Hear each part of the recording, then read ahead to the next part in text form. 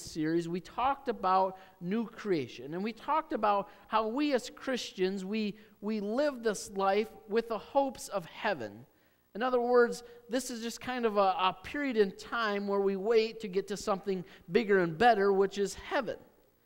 Now, this morning, we're going to kind of take another twist on that. Now, one thing I've found in ministry that, that we as Christians, we tend to spiritualize what we believe. We, we tend to give it more of a spiritual influence. What I mean by this is that if I have asked you what the goal, what your goal as a Christian is to be, nine out of ten people in here would say it is to get to heaven. Now, in the times of the early Christians, the first Christians, the first Christians that were, were after Christ, if I were to ask them the same question, they would say it is their goal to get to the resurrection, which is two complete opposite things. It is true that our souls will, will go to heaven, and that's true that is something we look forward to in this life. But the early Christians, they knew that there was something even bigger than heaven. See, if the story of God, if the story of Christ, if the story of his ascension had ended at the ascension, then that story really wouldn't mean as much to us. The scripture tells us that the same bodies that we will have on now, although free from corruption and sin, will again be ours that we will walk, that we will talk, that we will feel, that we will hear, we will, we will touch once again. We will even be ourselves once again. Even better, we will be in a new world. So we started this off talking with a new creation, how we are made new, and today we end this series in a new world, a new life. Jesus referred to this paradise in Luke 23 42 when he says this Truly I tell, I tell today, you will be with me in paradise. Paul in Romans said that creation waits eagerly, expecting something. Right now, there are thorns in the ground, Paul would go on to say, but the thorns will be removed. And then again, we look at the words and joy to the world. No more let sin or sorrow grow, no thorns infest the ground. He comes to make his blessings flow far as curse is found. But the fixing doesn't start in the resurrection.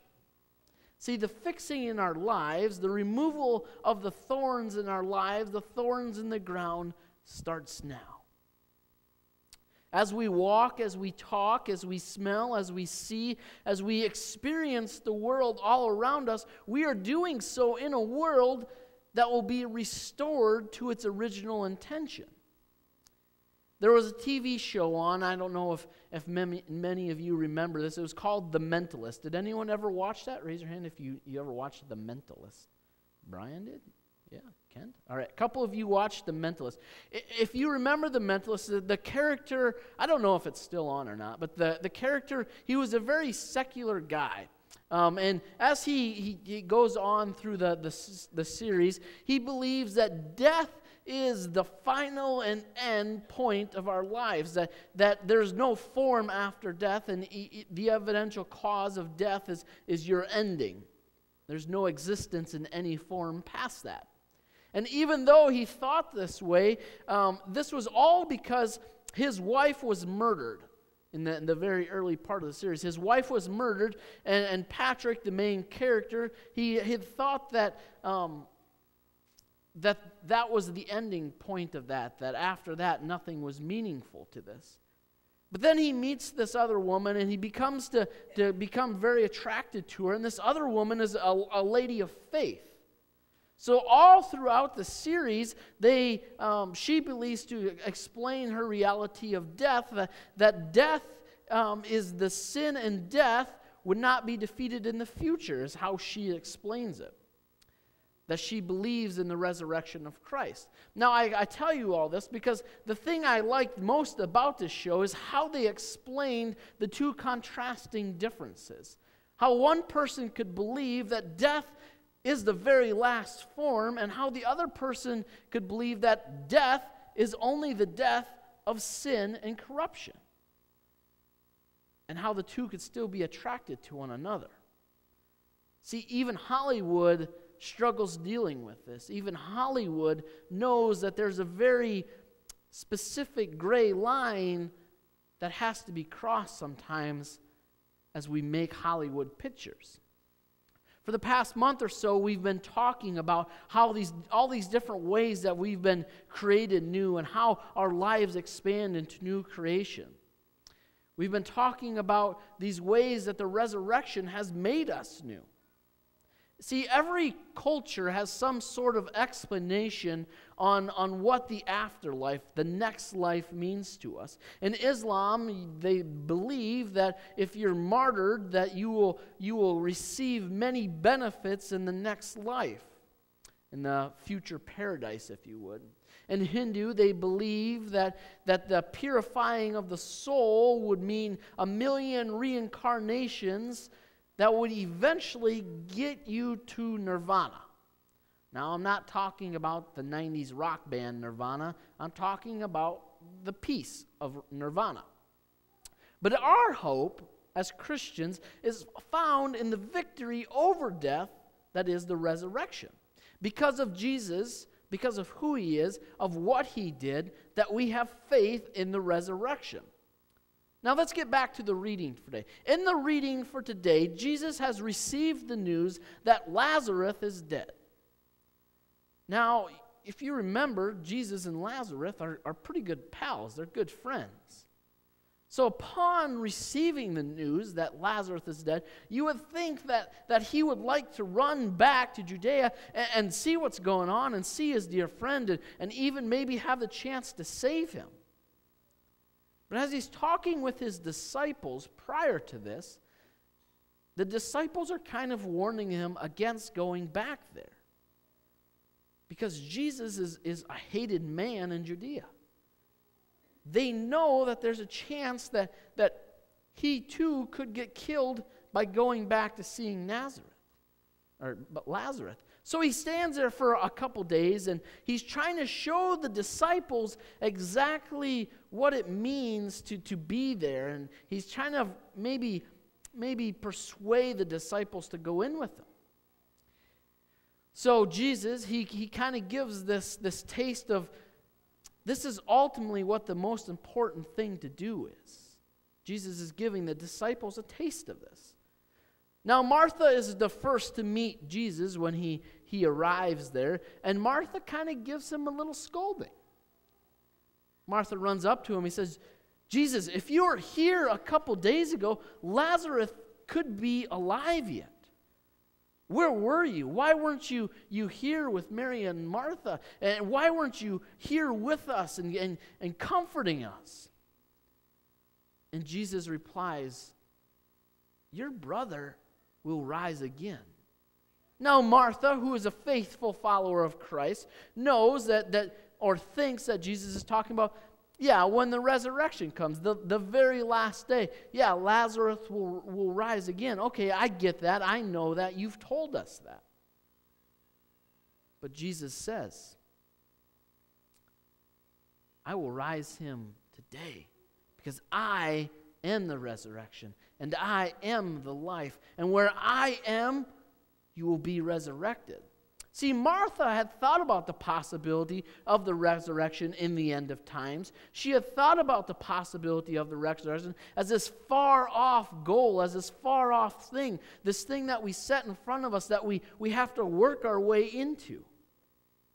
Just like we talked about in our first sermon. That we as Christians, we sit here and we, we make this checklist saying, all right, if I do this, I'll get to heaven. If I do this, I'll get to heaven. If I, if I sit here in church today, I'll get to heaven. If I go on a mission trip, I'll get to heaven. And then we hand in that piece of paper and we say, all right, here's my ticket to heaven. Martha is thinking one step ahead. She says, I know Lazarus is in heaven. I'm checking off those boxes. But Jesus Christ says, I am the resurrection and I am the life. See, that's what happens to so many of us. We believe in the resurrection. We believe that a time far, far, far, far away that we will be resurrected. But how far is it off, really? And that can make a lot of us a little uncomfortable. It can make a lot of us a little uncomfortable. Um, has anyone read like a lot of the conspiracy theories that, that like the seven signs are, are happening right now? That some of this political corruption and like all this environmental stuff, like, like this is, could be the end of times, and that maybe makes us a little bit uncomfortable. Now, some of those guys are nuts jobs. I'll just tell you that straight up right now. But the fact that, that some of those things could maybe just a little bit possibly be true, it makes us a little uncomfortable. It makes us want to say, hey, you're a nut job because we don't want to accept that the resurrection could be closer than we ever imagined. And that doesn't give us comfort because we don't feel like we've checked all those check boxes. Maybe we've checked them all to get to heaven, but then what? We try to comfort ourselves by, by thinking these thoughts. Now, as a pastor and dealing with, with many of you who have lost someone, I, I hope not to uh, offend anyone that who, is, who has said something similar to this, but, but some, sometimes I hear things like, I know grandpa is looking down on us right now. Or sometimes we hear things that, that maybe Uncle Bill is, is still in us, in his spirit. His spirit is still with us. Or maybe Jake is playing baseball in heaven. We say things like this because we truly, truly do not believe in the power of the resurrection. So we want to put this time in between where our, our loved ones and those who have passed are doing these things. Like they're they have the, some, some natural um, ability to still watch over us or still be playing and doing those things um, with us. Maybe mom's baking a cake for Jesus right now. We say these things because the power of the resurrection, when we believe Jesus Christ is the resurrection, resurrection in life, has not really fully come into comprehension with us. Now, I can't say what's going on in heaven right now. I, just like you, have many theories. I think it's one big party where everyone's singing and dancing and having all kinds of fun. But here's the one thing I do know I know there's no suffering in heaven. I know that if mom and dad and, and were looking down on us, they would be missing us. And when you're missing someone, you're suffering.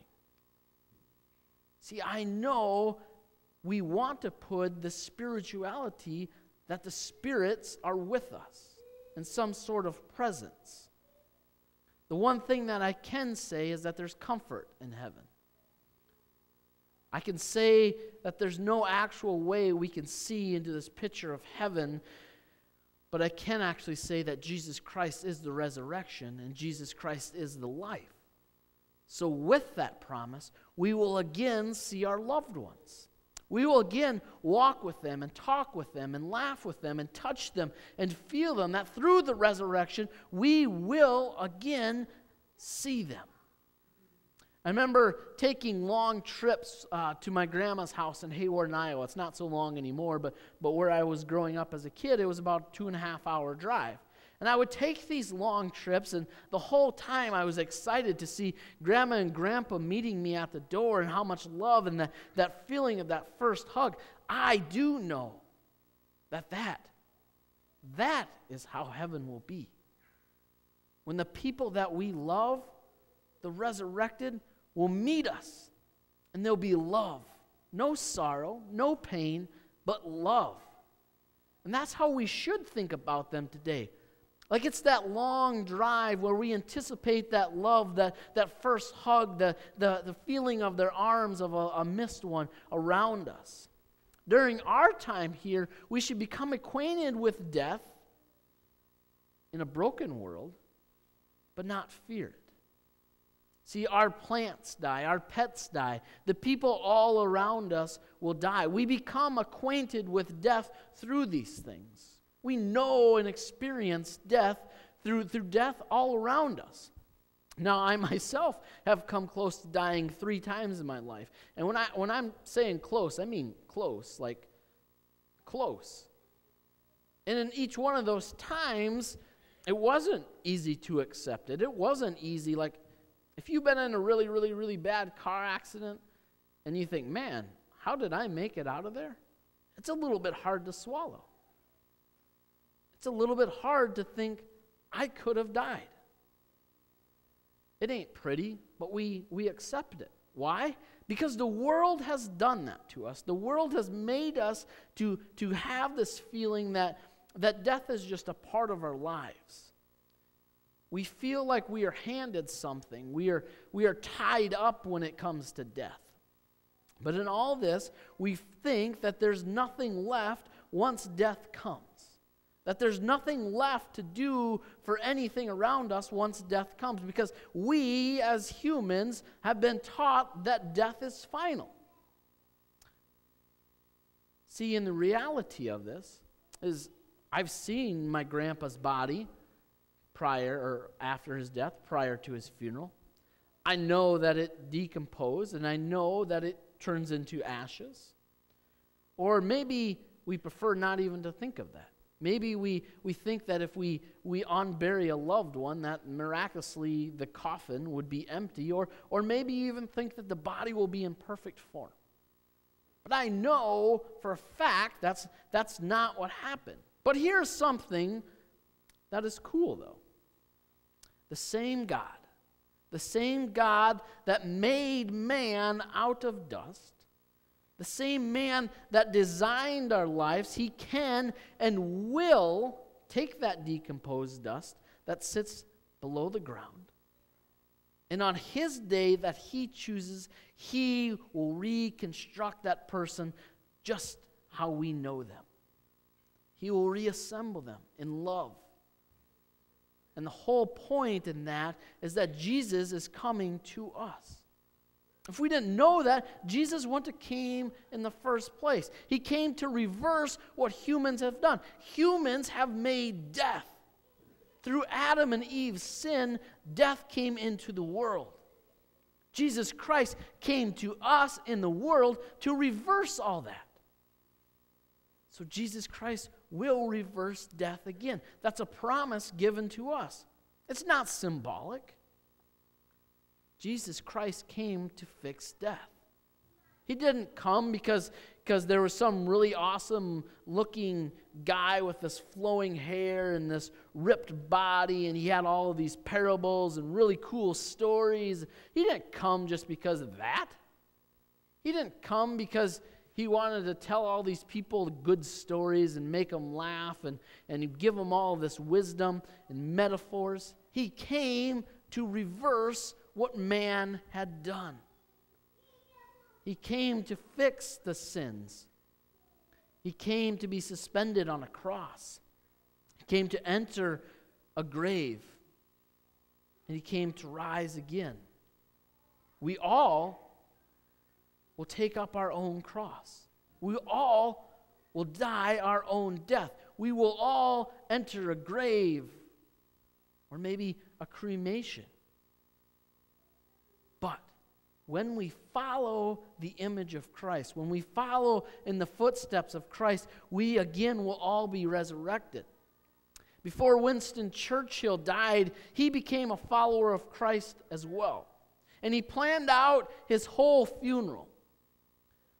So on the day of his funeral, and he was at St. Paul's Cathedral, and there's these, if you've never seen St. Paul's Cathedral, there's these domes on top of it, right? And on the far left dome was a bugler. And as they were doing the, the funeral um, process, one of the buglers began to play reveille, which, um, or sorry, taps. One of the buglers began to play taps. So uh, taps is the, the closing, if you're in the army, is, is the final song of the day. It means the closing of the day. So one bugler began to play taps over here, and just as they finished, there was a moment of pause, and on the other side, a bugler began to play reveille, which is the awakening of the day. And this was symbolic for Winston Churchill because he believed that as one thing dies, new creation is made over here.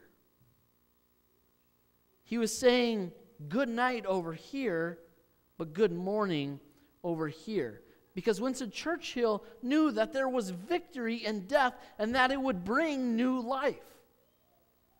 That soon his friends, his family, his loved ones, they too would be reunited with them.